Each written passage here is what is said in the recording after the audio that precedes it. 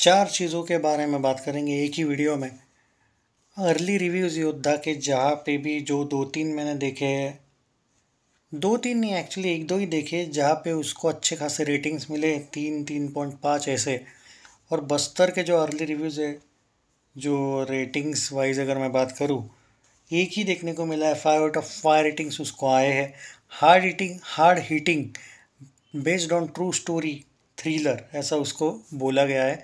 योद्धा की बात करूँ तो एक्शन सीन्स की तारीफ़ हुई है।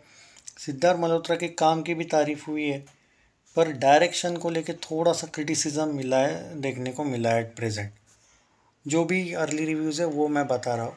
By the way advance booking की बात करते हैं, योद्धा क्या करेगी, क्या नहीं।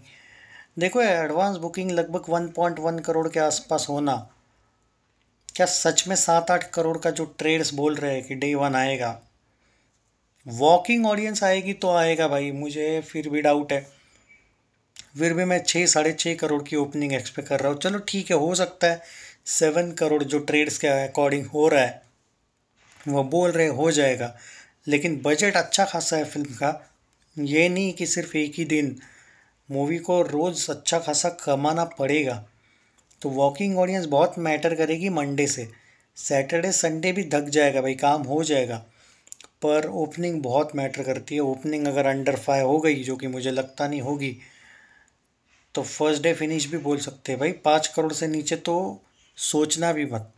अगर होता है तो बहुत मुश्किल में फंसेगी योद्धा। रही बात बस्तर द नक्सल स्टोरी उसके बारे में एट प्रेजेंट मैं कल उसका आपको पूरा बजट भी बताऊँगा कलेक्शन कितना हो सकता है वो भी बताऊँगा। एट प्रेजेंट उसका जो एडवांस बुकिंग वो एडवांस बुकिंग वाली फ़िल्म है नहीं। उसका बहुत सी जगह पे एडवांस बुकिंग हुआ ही नहीं है। तीन चार शोज़ मुझे फुल हाउसफुल दिखे हैं उसके आ, पर वो कल के।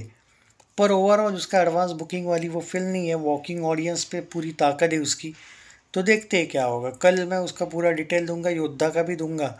पर एक अंदाज़ा है कि भाई प्रडिक्शन आप बोल रहे थे कि करो इस फ़िल्म का। तो योद्धा माइट भी सेवन एट करोड़ टाइप का आप मान के चलो।